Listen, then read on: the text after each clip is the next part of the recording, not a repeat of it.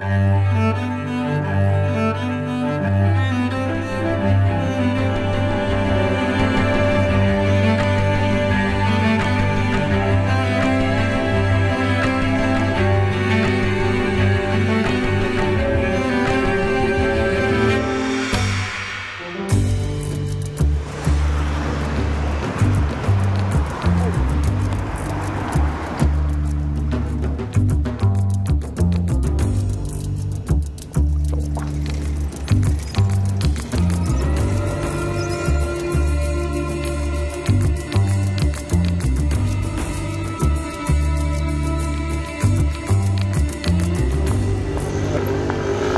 sta hier in een heel koud lentewindje op een nieuwe brug over dat deel van de Singel wat opengelegd is in verband met de nieuwbouw rond het Utrechtse station.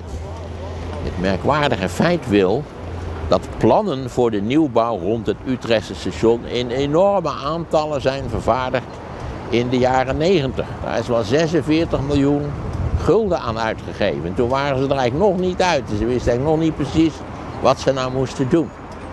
En toen heeft Leefbaar Utrecht, wat in de late jaren 90 in de raad was gekomen, voorgesteld een referendum te houden. Wat wil de bevolking? Wat vindt die er eigenlijk van? En dat referendum is gehouden in mei van het jaar 2002. Precies 15 jaar geleden. En het was een heel succesvol referendum. Maar wat we nu willen weten en wat we nu in de rest van deze uitzending gaan onderzoeken is... wat is er nou terechtgekomen van de wensen van de Utrechtse bevolking... zoals uitgedrukt in dat referendum van 15 jaar geleden. Het Utrecht Centrumproject, bedacht door het vorige stadsbestuur, kreeg veel weerstand, vooral van Leefbaar Utrecht. Maar één ding staat voor iedereen vast. Het stationsgebied zoals het er nu bij ligt is spuuglelijk en daar moet iets aan veranderen. Het is een raadgevend referendum over twee visies waar geen duidelijke maquettes van zijn. Er zijn geen duidelijke oplossingen voor de verkeersdrukte. De jaarbeurs blijft in stand. En als klap op de vuurpijl, Hoog Katerijnen krijgt in beide visies alleen een cosmetische verandering. Het zo verafschuwde winkelcentrum blijft hoe dan ook bestaan. Dat referendum wat Leefbaar Utrecht had georganiseerd, dat was een raadgevend referendum. Maar, zei de gemeenteraad, als de opkomst boven de 30% zou liggen, dan zou het een bindend referendum zijn. En de opkomst was ver boven de 30%. De opkomst was liefst 60%. Dus het werd, let op, een bindend referendum. Vervolgens kreeg elke Utrechter in zijn brievenbus dit papier. Kijk. En wat zien we op dit papier? Daar zien we visie 1 en we zien visie A. En het was de bedoeling dat de deelnemers aan het referendum zouden kiezen tussen visie 1 en visie A.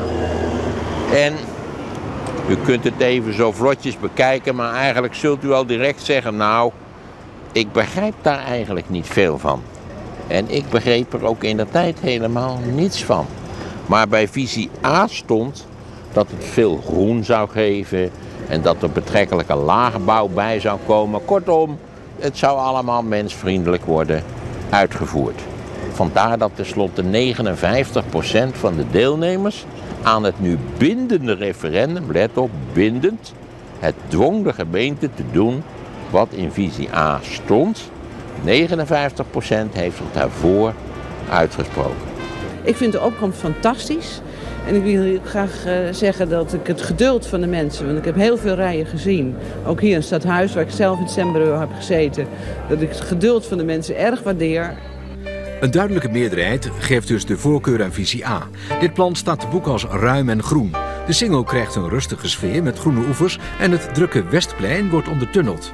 Muziekcentrum Vredenburg blijft op dezelfde plaats.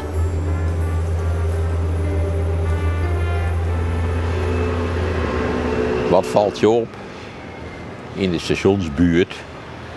Dat toch met visie A iets misgegaan is op enige wijze. Want visie A was toch groen en laagbouw. En je kunt veel van de nieuwe Tivoli zeggen, maar laagbouw is het niet. En dan zwijg ik nog van het Pentagon wat de Utrecht in verband met het eigen stadskantoor heeft opgetrokken. En is natuurlijk nog een, een laatste punt. Als je naar dat krantje kijkt, wat alle Utrechters in de bus hebben gekregen, dan staat er een heel verleidelijk plaatje bij, dat, bij die visie A.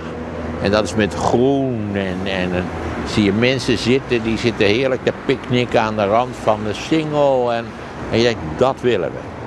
Maar ja, als je dan kijkt wat het gaat worden.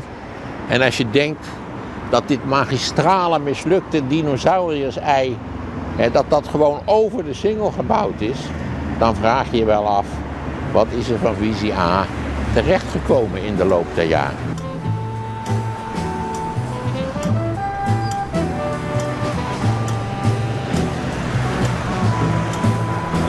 We gaan nu eh, op weg naar het stadskantoor. Daar hebben ze een ondergrondse garage. Ik had het al even over het stadskantoor, niet waar, het Utrechtse Pentagon, zou je kunnen zeggen. Daar gaan we praten met Sierte Vos over hoe het zo gelopen is met Hoog Katerijnen. En wat voor noodzakelijkheden daarbij een rol hebben gespeeld.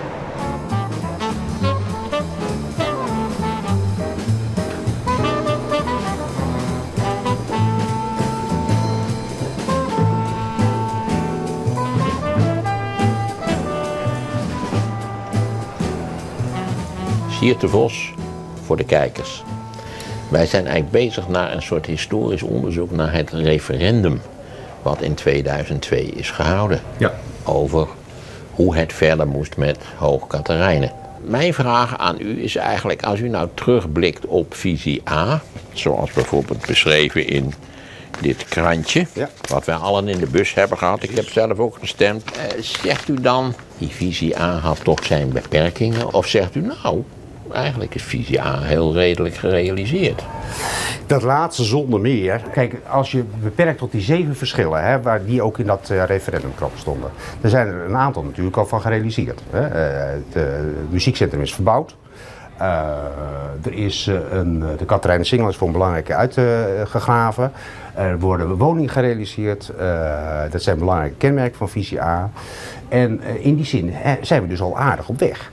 En juist ook met de plannen die nu aanstaande zijn, denk ik dat we volledig voldoen aan visie A. Ja, op één punt, belangrijk punt niet, hè? dat is het Westplein. En het drukke Westplein wordt ondertunneld. En dat is, eh, dat is een van de onderdelen, of het is het onderdeel waar wij gaan afwijken.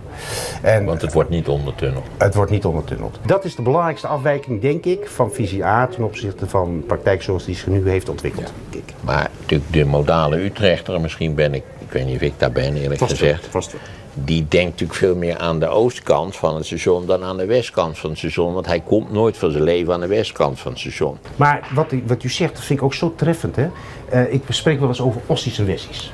En die ossies die denken dat de wereld ophoudt bij het Centraal Station aan, aan de binnenstad. Nou, die, dat de idee had ik niet, maar die- ik zeg maar dat... Er zijn zelfs mensen die nooit mijn- in Hoogkaterijnen willen komen omdat ze zeggen, ja, maar dat hoort helemaal niet bij de binnenstad. Ik bedoel, dat is een type van denken wat typisch zit aan de, aan de oostkant van de stad. Terwijl de meeste mensen inmiddels aan de westkant eh, wonen. Wat was een van de opgaves? Dus we moeten een station maken wat twee voorkanten heeft. Rekent u wel Leidse Rijn mee natuurlijk. Uiteraard. Ah. Dat hoort bij de stad. Oh. Dat bij de stad. Dus er moesten twee volwaardige stationspleinen worden gerealiseerd. Niet alleen de oostkant. Daar is wel een plein, een soort van plein. En daar komt, een heel, daar komt een fantastisch plein. Ja, dat is Ter grootte van de Neuden. Nou ja, ik, ik hoop dat dat zo is. La- laat ik even nog iets positiefs zeggen. Kijk. Eh, die hal is geweldig, maar het is een hal over het spoor. Ja. En die is natuurlijk vooral ontstaan omdat het oude station verdwenen is. Maar het oude station had natuurlijk een, een heel leuk stationsplein, wat als het ware aansloot op de binnenstad. En nu ben ik heel benieuwd of het nieuwe plein. Ik, ik, behoud mijn, ik, ik weet, misschien wordt het wel een enorm succes. Dan schrijf ik u een briefkaart. U had gelijk. Maar ho- hoe, hoe gaat dat aansluiten op die, op die oude binnenstad? Want ik denk toch dat de meeste mensen nog steeds, althans voor, voor Tier, naar de oude binnenstad gaan en niet naar de westkant van het station. En, nou ja, dat jaarbus zit er met 3 miljoen bezoekers eh, per jaar. En, en eh, er is natuurlijk een ongelofelijke... de Hoogkaterijnen die heeft eh, zo'n eh, zo'n 35 miljoen bezoekers per jaar. Dus er gebeurt wel wat. Geloof niet dat er een behoorlijke boekhandel is, dus ik, ik, kom, ik kom me nooit... Maar de ossies komen er ook niet. Nee, Dat is, dat de Ossies? Ja, dat zijn de Ossies. maar, maar het is wel zo dat, Want dat in dat, hoge daar zit natuurlijk ook wel een, een, een moreel waardeoordeel in. Maar goed, Os, ik vind het een interessante onderscheid. Ik had het nooit eerder gehoord. Maar ik, ik kom terug op mijn uitgangspunt. Mijn punt was, dan gaan wij, als het allemaal klaar is, de kranen zijn weg, gaan we, doen we ditzelfde nog een keer. Gaan we al die dingen bekijken, gaan we ook even zitten enzovoort enzovoort. En dan vragen we ons af, is visie A gerealiseerd? Ja, natuurlijk met aanpassingen. Of is toch, laten we zeggen, Hoogkaterijnen zelf, zoals het ooit gebouwd is, een te grote klompvoet gebleken om Ja. de definitieve punt- operatie mijn- uit te voeren. Mijn, mijn punt is juist, visie A speelt zich voor een heel groot gedeelte af aan de overkant van het spoor. En wat juist de komende jaren gerealiseerd gaat worden. Hè? Dus de, de ontwikkeling van de jaarbeurs en het Westplein. Dat is een project wat eigenlijk de helft van het hele visie A-terrein in, in beslag neemt. En dat gaat pas nu van start. Daar is nou een structuurvisie voor. Die wordt aan de gemeenteraad voorgelegd. En dat pas daarna wordt gebouwd. Dus eigenlijk is de zaak 2030 in zijn totaliteit klaar. 2030 2030, ja. ben ik 87, dus dan is de kans dat ik dit allemaal nog mee zal krijgen. Ik ben dan nog een veel ergere ossie geworden, gebonden aan mijn eigen woning. Nou, alles kan kan. veranderen. hoor. Alles kan Ik- veranderen. Ik kan, ik kan geen kant meer op.